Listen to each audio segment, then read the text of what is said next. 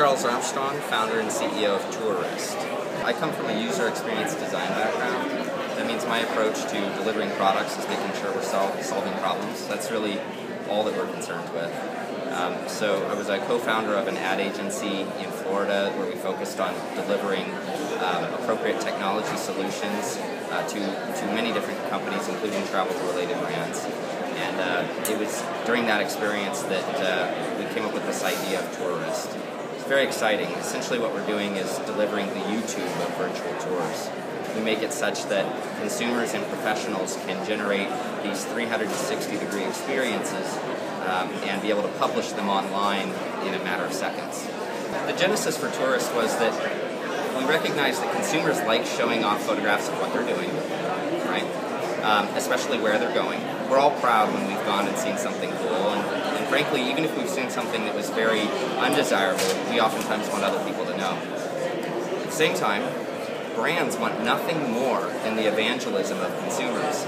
So this is a, potentially a match made in heaven. And we saw the opportunity to say, wow, let's empower consumers to create geo-local, visceral, immersive media and empower the same brands that they're recording to be able to promote that media. So what we're doing is basically tapping into social and advertising at the same time. YouTube has very successfully done that in video, and we see the opportunity to take this type of viewing experience and extend that uh, all the way to, to virtual tours. This is this is kind of what I'm talking about. You can hold any mobile device. You can also do this on desktop computers. And as you point in any direction, it's like you're there. This is a Royal Caribbean International. We were pr proud to announce today as our latest client.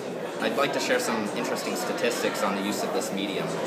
The average session, when a virtual tour is included, jumps from 3 minutes to 20 minutes.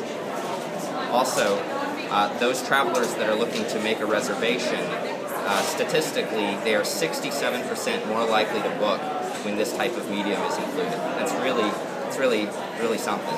Given that the average uh, uh, given that consumers are beginning their travel plans on mobile devices 47% of the time, we think what a, what a compelling way to, to lock them in, get them excited, encourage them to make a reservation then and not have to wait until you know they get onto a computer later, maybe are getting distracted by other websites, that sort of thing. Well, I mean, mobile's growing by leaps and bounds. Uh, panoramic photography has been embraced by Apple, Google, and Microsoft in recent history.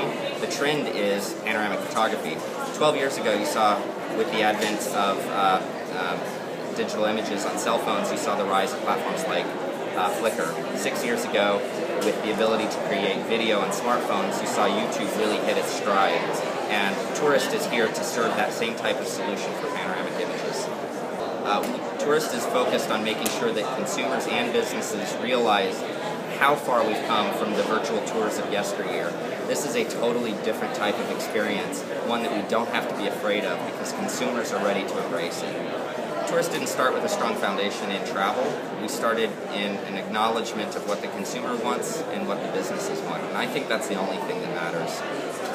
This whole idea, of the excitement that surrounds paradigm shifting businesses and shakeups. It's there for a reason. It's because every once in a while someone takes a step back and says, I'm not concerned with convention, I'm concerned with what makes sense. And I encourage anyone to separate themselves from convention, really, really think about what's going to motivate people. Motive misalignment is one of the biggest challenges that the travel industry is facing.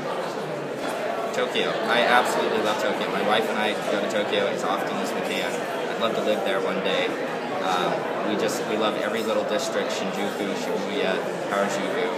Um, that's where I hope to call home one day.